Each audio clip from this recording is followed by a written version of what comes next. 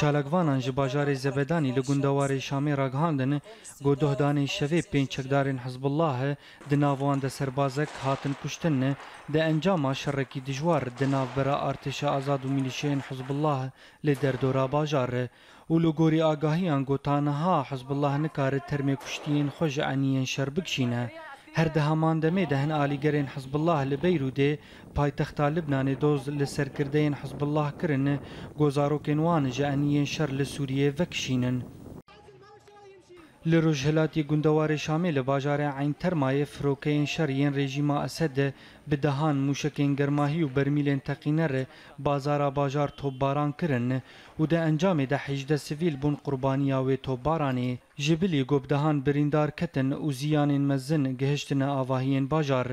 هجای گوتنی گوجبری هفت حیوان عین ترمایه جالی هزین رژیمی و هاتیه دور پیچ کرن و در بازبون آلاوین خوارن قدخه کرن هر و سارخستن مرووی بانگاش کناندنا دور پیچ کرن باجار و خلاص کرن برینداران و سویلان کرن لە ئالیەکیدن و پشتی دەستکەفتنن ئارتێشە ئەلفەتح لە دەردۆرە هەردوو باژارۆکن کەفرەیە و فوعا لە گوندەوارێ ئەدلبێ ئالیگەرین ڕێجیمێ هەژمارەکە خۆپیشندان لە دارخستن تێدە سلۆگانن دژی شکستنە ئارتێشا ڕێژیمێ و میلیشەیە نوێ لە ئەنیەن شەریەن هەردوو باژارۆکان هاتن بلندکردن و ji بە شار لە ئەسد خستن گۆ پشتگیریەکە مەزن بۆ گازیان شتەجیین هەردوو باژارۆکان بشینە و ڕێژیما ئیرانی ژی تاوانبارکردن بە فرۆتنە هەردوو باژارۆکن کەفرەیە و فوعا طلوعها خو پیشندان لە تاغاست زێنەب لە شامی و هەندتاغێن حمسێ و لازقیە لە دارکەتن